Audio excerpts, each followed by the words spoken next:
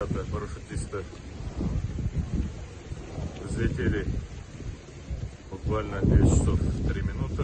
И спустя э, значит, э, минуту-две в воздухе набрали высоту летчики и самолет упал. В итоге э, два члена экипажа и было 20 человек, из них 6 инструкторов, 14, которые будем считать парашютисты, которые должны были в тандеме с инструкторами э, значит, э, прыгать.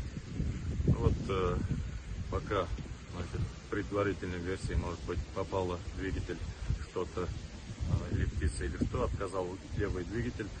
Летчики, чтобы не приземлиться или не упасть в населенный пункт, значит, взяли влево, развернули самолет, ну и хотели, видимо, дотянуть до аэропорта.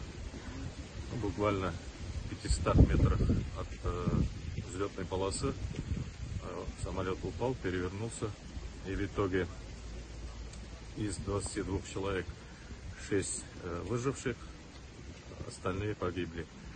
Выживших э, оперативно